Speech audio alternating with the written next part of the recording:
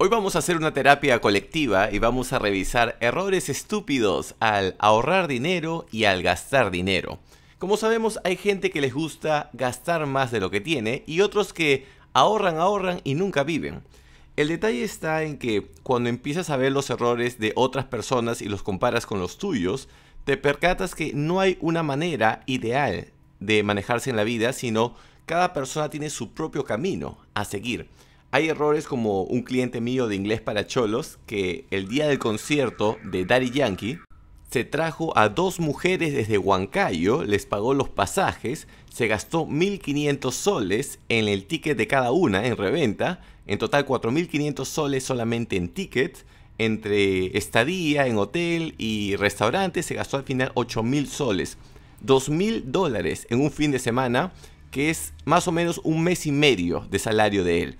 Y, vemos que ese es un error estúpido, pero también tenemos el otro lado de la moneda, que es gente como quien les habla. Yo cancelé a mi pareja de promoción cuando me enteré de que tenía que pagar 20 dólares adicionales por llevar a una chica que no era del colegio. Le dije a una de mis vecinas para que sea mi pareja de promo y apenas me enteré, eh, le dije ya, ya no. Eh, la chica se había comprado su vestido, le había dicho a sus amigas que iba a ir conmigo a la fiesta de promo y, me, odió por un par de años. Pero a lo que quiero ir con esto es que eh, tenemos que analizar nuestra personalidad para según eso poder planificar nuestras finanzas. Hay un libro que se llama Five Money Personalities, que lo voy a resumir más o menos acá en este episodio rápidamente. Sabemos que la, la atención es corta, pero igual les recomiendo de que lo chequeen por su cuenta, les va a ser de mucha ayuda. Antes de, seguir con esto, recuerden darle like al video, de como huevón tengo que decirlo, para que llegue el contenido a más gente como ustedes y podamos repartir la palabra con más hermanos. Y recordarles que estos podcasts los encuentran en Google Podcasts y Spotify, me encuentran como Tío Balta, no, como José Balta en español y si quieren escucharlos en inglés como Uncle Balta. Empezamos. Estas cinco características que voy a mencionar eh, no es que cada persona tiene una de ellas. Tenemos todos un poco de estas cinco, pero algunas de ellas las tenemos en mayor proporción. Y según la proporción que tengas de cada característica va a ser el plan que vas a manejar. Tenemos la primera característica que es el ahorrador. El ahorrador en teoría es algo bueno, ¿verdad? O sea, ahorrar platita debería de ser una, una buena costumbre. No siempre lo es. No lo es cuando empiezas a ahorrar en cosas que más bien te ayudan a incrementar o multiplicar tu esfuerzo. Eh, para que tengan una idea, la idea de ahorrar es maximizar tu placer a largo plazo, pero también tenemos que entender que hay gente que le gusta más vivir el presente. Recuerdo, tenía un amigo de la universidad, su nombre Renato, no voy a decir su apellido, pero el tipo dejaba de comer todos los días, no comía, se cagaba de hambre en la universidad, eh, la gente le, invitaba a una galletita, una vaina así. El tipo nunca gastaba dinero porque estaba ahorrando para su viaje de fin de año. Y, yo le preguntaba siempre, oye, ¿tiene sentido esto? Y él me decía, soy feliz de esta manera. Y es como él manejaba su ahorro. Y el tipo hasta ahora sigue vivo, y eso es lo importante. O sea, si como les dije al inicio, no hay una manera para todos, pero tienes que entender cuál es la manera que va mejor para ti. Si me preguntan a mí cuál es mi manera de ahorro, prefiero cancelar ese viaje y todos los días tener una buena porción de carne ahí en la mesa. Y vemos, ¿no? Algunos preferimos maximizar el día a día, algunos preferimos maximizar ese 1% cada día durante todo el año que tener un fin de semana a 100% y después estar jodido el resto del año. Un método no es mejor que el otro, pero al menos tienes que tener claro cuál es el tuyo. Si tú eres de los ahorradores, tienes que tener cuidado cuando hay tiempos de inflación, como ahora.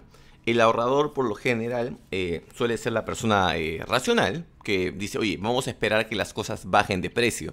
Pero cuando hay inflación, como estos tiempos, las cosas no bajan de precio. Mi madre, por ejemplo, compró un rollo de esos de pisos de grasa artificial y en solo un mes subió 40 soles, más el mismo rollo. Si ella hubiera esperado más tiempo y decir espera que baje, el precio hubiera seguido subiendo. Es por eso que la inflación suele generar gente gastadora, porque te acostumbras, sientes que ahorrar más bien es algo estúpido, porque vas perdiendo poder adquisitivo. Otro punto que creo que los ahorradores podemos aplicar es tratar de trabajar en comunidad. Cuando a ti no te gusta gastar tanto dinero, si tú tienes una comunidad, puedes ahorrar bastante dinero compartiendo recursos con esas otras personas. Les comenté el caso de la casa de playa. Un amigo de casa de playa, le llevo eh, cervezas, le llevo comida, te ahorras la casa de playa. Tienes una amiga nalgona que quiere tomarse un vino el fin de semana. Tú le invitas el vino y ella te trae felicidad a tu casa. Ser capaz de intercambiar, de negociar, de, de hacer como dirían trueque entre nosotros es una manera de ahorrar y no castigarte y dejar de vivir. Y un último tip que podría recomendar a los que les gusta ahorrar, y esto tal vez es para todas las otras personalidades, les va a servir también, es el ser minimalista y al mismo tiempo preocuparte por producir la mayor cantidad posible. Minimalista hemos visto eh, vivir con lo que realmente necesitas y siempre estar pensando cómo puedo generar más ingresos, sobre todo alrededor de esas cosas que te gustan. Eso te va a motivar a seguir trabajando. Hasta este punto, voy a hacerlo rápido porque llevamos 6 minutos, voy a tocar los otros 4 así violento. Pero antes de eso recordarles que si desean practicar inglés pueden ir a inglesparacholos.com donde tengo una comunidad de gente que les enseño todo lo que son temas de negocios, temas fitness, temas maritales, todo en inglés. Y si no saben inglés, les enseño inglés antes de eso. Inglesparacholos.com, si desean sus suplementos, josebalta.com. Y si desean mi audiobook, cómo dejar de ser una putita, al WhatsApp más 51 9890 23 986. Pasamos al siguiente tipo, al gastador. Pinche carro que está haciendo bulla acá al costado. ¿eh? La persona que es gastadora es eh, un buen amigo para dar regalos, por lo general. Cuando tú vas a recibir un regalo, quieres que tu amigo sea gastador, que, que no escatime. Más bien, el que ahorra es duro para dar regalos. Pregúntenle a mis sobrinos qué les regalé por Navidad. Creo que les regalé unos este, Pokémones de 30 lucas, 40 lucas cada uno. Pero, y mi primo apareció con unos juguetes que 200 soles cada unidad. Eh, el que gasta es un mejor amigo para dar regalos. El que ahorra no lo es hablando con una amiga ayer, estábamos conversando después de, un momento romántico, y, justo le conté este tema y me dijo, el gastador es un buen amante, pero es un mal esposo. Y es interesante también eso. Las chicas saben a quién apuntar. Cuando quieren un patita solamente para, para divertirse, buscan al gastador. Pero cuando quieren proyectarse, buscan no al gastador, sino a uno que vamos a mencionar más adelante. Em, la ventaja del, gastador es que, sobre todo en tiempos de inflación, eh, te conviene. Tú estás gastando el dinero, pero en teoría estás ahorrando, porque todo lo que estás comprando ahora después va a ser más caro. Es una especie hasta de inversión comprar vainas. Em, hasta comprar gilets, comprar eh, la comida de Armando, los sacos de, de galletas de Armando, a veces compro 10 sacos de frente porque sabes que después te va a costar mucho más caro. Ser gastador es bueno si sabes enfocar tu gasto en las cosas correctas. Si gastas en base a las cosas que te van a sumar. Eh, esto se lo escuché al gran filósofo Bad Bunny. el gran filósofo Bad Bunny, él decía que todo su dinero lo invertía siempre en ropita. Cualquier dinero que tenía lo, metía en ropa y en, en peinados, porque decía de que era una manera de poder promocionar su estilo, de verse diferente siempre. Y, para un artista tiene sentido. Pero si tú no eres una persona que, me explico, eres, estás en el ojo del público, eh, igual tienes que gastar en ropa, pero me explico, no tienes que organizar mejor tu gasto. Gastar en las cosas que tienen más sentido y, gastar eh, de manera racional. Y un último punto acá con el tema de los, eh, de los gastadores es que tienen que tener cuidado cuando se amarran con una pareja. Porque si se amarran una pareja de dos gastadores están hechos concha. Se van a la mierda los dos. Tenemos varios casos de esos. Eh, por lo general, ¿no? No siempre, porque hay veces que más bien el hombre es el gastador y la mujer ahorra, pero por lo general es la mujer la que gasta y el hombre el que la aguanta, el que, el que la aguanta a no seguir gastando. Y acá viene el tema, cuando un hombre no tiene autoestima, tienes una mujer gastadora y te da vergüenza quedarte corto y empiezas a gastar también. Y esto es algo que me, me llamó la atención de este libro que estudiar las personalidades para el dinero, las que estamos mencionando, te pueden ayudar a buscar una mejor pareja para el futuro. porque ya no solamente buscas una pareja en torno a, a cómo es que me gusta, sino es qué comportamientos tiene ella que complementan mejor mis comportamientos.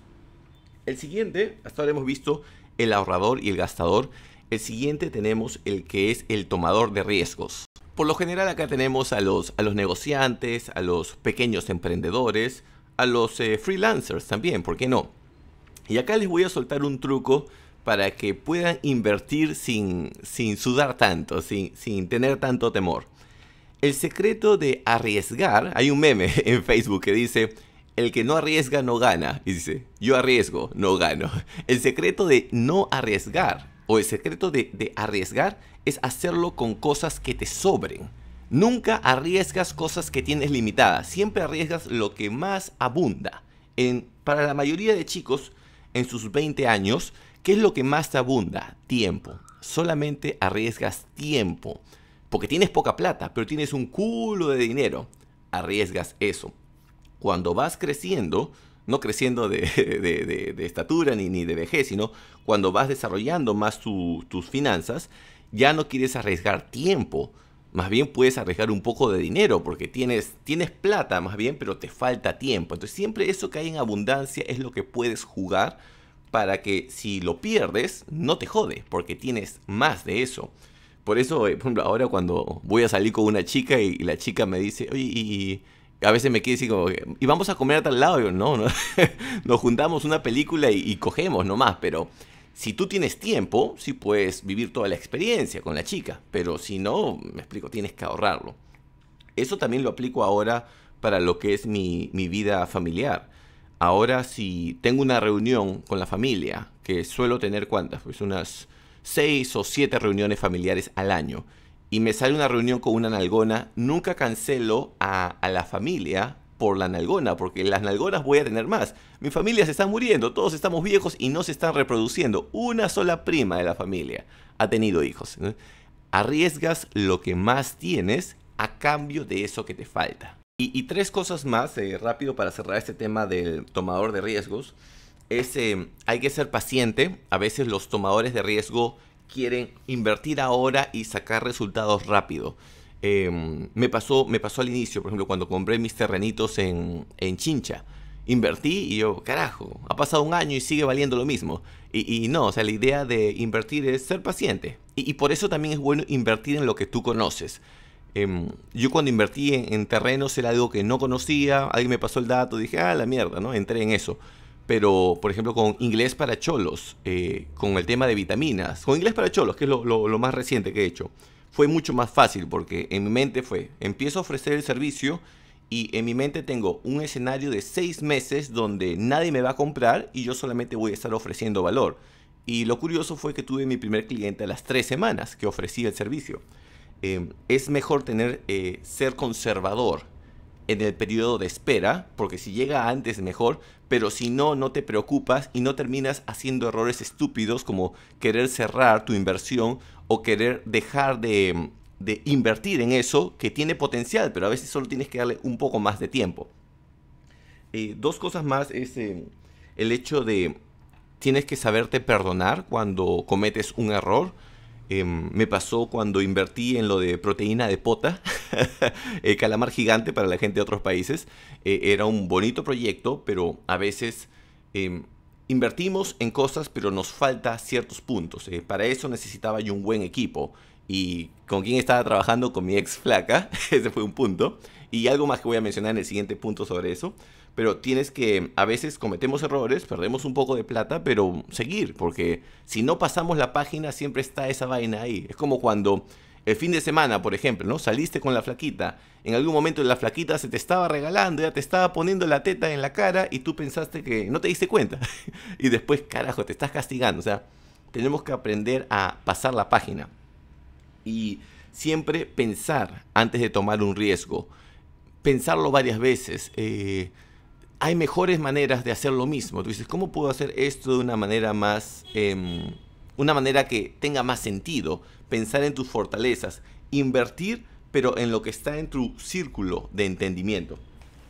Eh, los últimos dos, rápido, ya estamos 14 minutos, es el, buscador de, de, futuro. El buscador de futuro es aquel que está dispuesto a sacrificar el presente por beneficios futuros. Y hasta ahí suena bien, ¿verdad? E, el, detalle está en que a veces no vives y, sacrificas mucho el presente. Y esto no es exactamente igual que el ahorrador. Esto tiene que ver más con, proyección a largo plazo. Em, está bien sacrificar el presente, pero hasta cierto punto. Y después tienes que ser más establecer mejor tu agenda en qué cosas vas a disfrutar en la vida. El gastador no necesita establecer una agenda para disfrutar porque gasta siempre, es su, nota. Pero el que piensa mucho en futuro, más bien tienes que ser, tienes que decidir, ok, una vez por semana eh, voy a salir con la familia, dos veces por semana con algunas y una vez con amigos, cuatro salidas. Tienes que organizarlo, porque si no, ¿qué pasa? Te dedicas a trabajar nada más y y te quedas, eh, no vives, pasan los años y después, puta madre, se me pasó la juventud. Otro tema con el buscador de futuro es que hay que ser inteligente en cómo vas a protegerte en el futuro. Muchos se invierten en su AFP, ONP, eh, ponen dinero para recibir dinero en el futuro. Dinero que va a ser totalmente quemado por la inflación. Entonces, si vas a trabajar, tienes que mantener el valor de tu esfuerzo a largo plazo.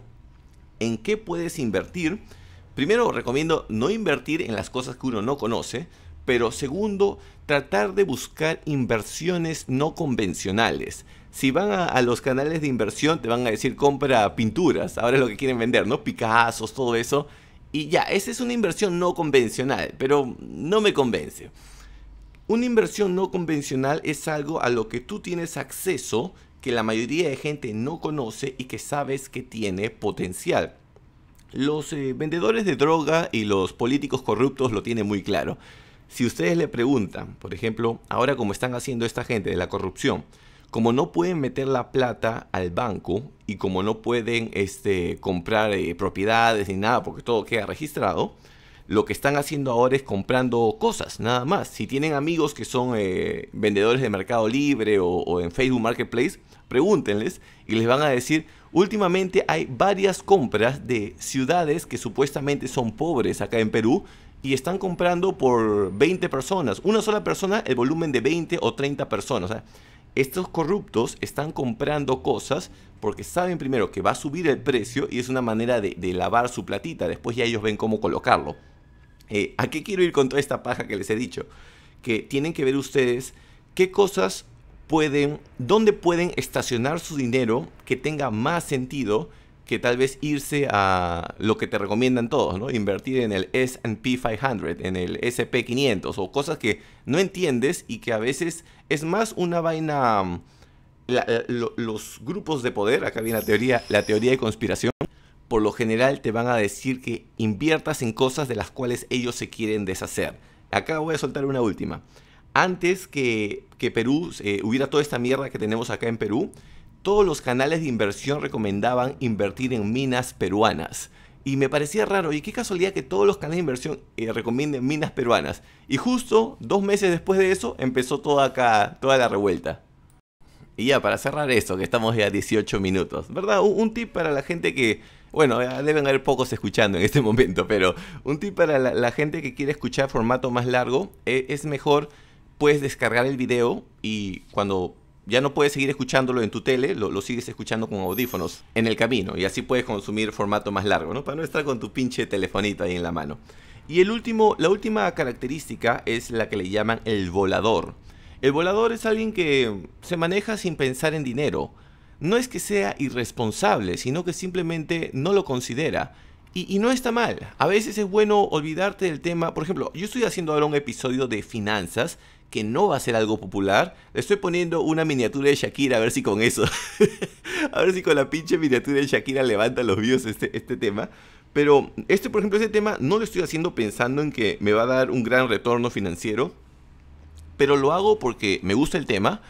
Eh, creo que es importante compartirlo con gente y aparte sé que analizando este tema me va a ayudar a mí también. Después de que grabo los videos, consumo mi propio video y digo, oye, qué, interesante. Entonces, em, manejarte como esta personalidad de volador también es bueno. es bueno a veces darte un pequeño break de dinero, pero si esta es tu principal característica, estás jodido porque te vuelves reactivo. Cada vez que te falta dinero, mierda, me falta dinero. Entonces, em, uno tiene que organizar sus características. Tenemos estas cinco características. Tal vez tú tienes más de una que de otra.